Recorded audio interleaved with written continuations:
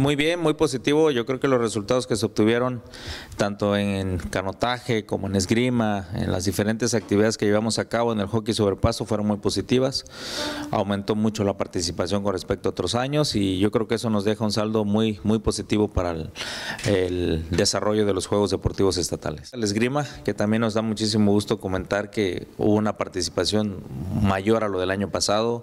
El nivel que se mostró de los esgrimistas es muy bueno, muy bueno muchos de ellos ya con experiencia a nivel nacional, con grandes este, premios que se han ido obteniendo en, diferentes abiertos en, en, todo el país y pues con la esperanza de que estos tres deportes nos den medallas en los Juegos Nacionales 2020 ahorita en Nuevo León.